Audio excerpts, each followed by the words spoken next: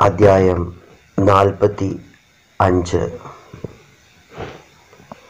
തന്റെ അടുത്ത് നിന്നിരുന്ന ഈജിപ്തുകാരുടെ എല്ലാം മുൻപിൽ വികാരമടക്കാൻ ജോസഫിന് കഴിഞ്ഞില്ല. അവരെയെല്ലാം പുറത്താക്കാൻ അവൻ ആജ്ഞാപിച്ചു. അതിനാൽ ജോസഫ് സഹോദരന്മാർക്ക് തന്നെ തന്നെ വെളിപ്പെടുത്തിയപ്പോൾ മറ്റാരും അടുത്ത് ഉണ്ടായിരുന്നില്ല. അവൻ ഉറക്കെ കരഞ്ഞു. ഈജിപ്തുകാരും ഫറവയുടെ വീട്ടുകാരും അത് കേട്ടു. ജോസഫ് സഹോദരന്മാരോട് പറഞ്ഞു ഞാൻ ജോസഫാണ്. എന്റെ പിതാവ് ഇപ്പോഴും ജീവിച്ചിരിക്കുന്നുവോ? അവരാകെ സ്തംഭിച്ചുപോയി. അവർക്ക് സംസാരിക്കാൻ കഴിഞ്ഞില്ല. അവൻ അവരോട് എന്റെ അടുത്തേക്ക് വരിക എന്ന് പറഞ്ഞു.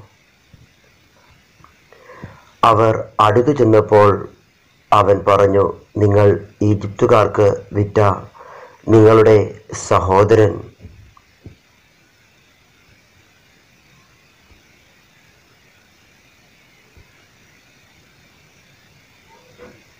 ജോസഫാണ് ഞാൻ. എന്നെ ഇവിടെ വിറ്റതോർത്ത് നിങ്ങൾ വിഷമിക്കുകയോ വിഷാദിക്കുകയോ വേണ്ട. കാരണം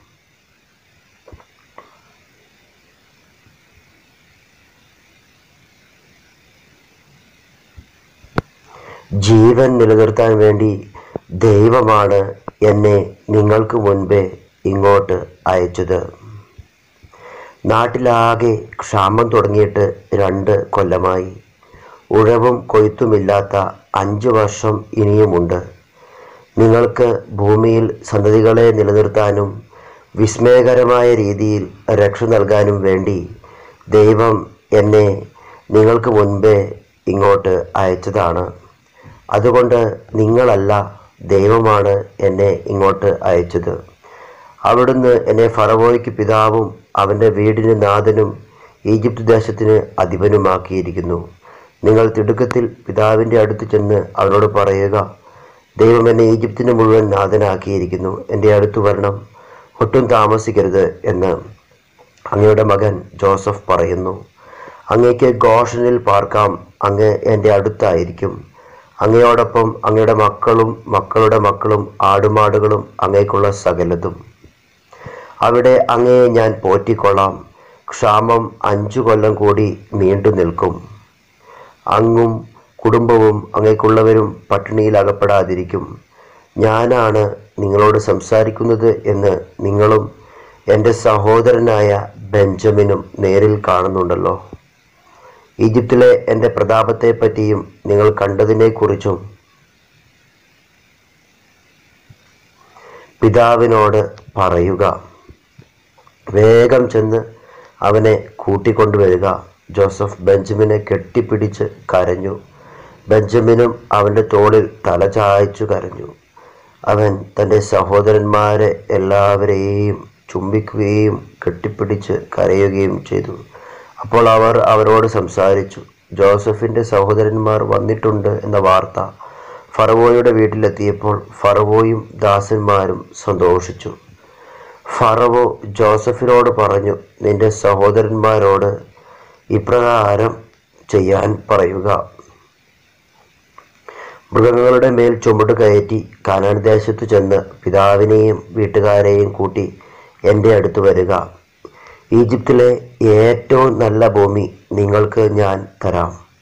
മണ്ണിന്റെ ഫലസമൃദ്ധി നിങ്ങൾക്ക് അനുഭവിക്കുകയും ചെയ്യാം. അവരോട് പറയുക നിങ്ങളുടെ കുഞ്ഞുങ്ങൾക്കും ഭാര്യമാർക്കും വേണ്ടി ഈജിപ്തിൽ നിന്ന് രഥങ്ങൾ കൊണ്ടുപോകുക. നിങ്ങളുടെ പിതാവിനെ കൂട്ടിക്കൊണ്ടുവരിക. നിങ്ങളുടെ വസ്തുവകകളെപ്പറ്റി ഉത്കണ്ഠ വേണ്ട.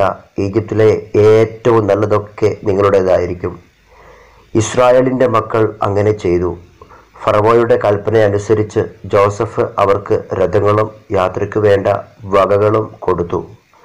അവൻ അവർക്ക് ഓരോരുത്തർക്കും പുതിയ വസ്ത്രങ്ങൾ നൽകി. ബെഞ്ചമിൻ ആകട്ടെ മുന്നൂറ് വെള്ളി നാണയവും അഞ്ച് വസ്ത്രവും കൊടുത്തു.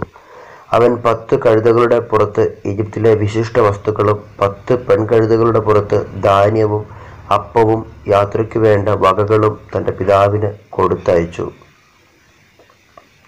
അങ്ങനെ അവൻ സഹോദരന്മാരെ യാത്രയാക്കി. അവർ പുറപ്പെട്ടപ്പോൾ അവൻ പറഞ്ഞു വഴിക്ക് വച്ച് ശണ്ട കൂടരുത്.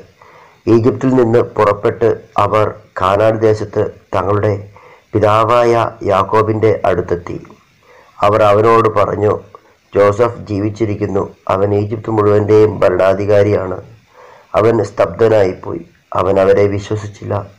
എന്നാൽ ജോസഫ് പറഞ്ഞതൊക്കെ അവരിൽ നിന്ന് കേൾക്കുകയും തന്നെ കൊണ്ടുപോകാൻ ജോസഫ് അയച്ച രഥങ്ങൾ കാണുകയും ചെയ്തപ്പോൾ അവരുടെ പിതാവായ യാക്കോബിന് ഉന്മേഷം വീണ്ടു കിട്ടി. അവൻ പറഞ്ഞു എനിക്ക് തൃപ്തിയായി.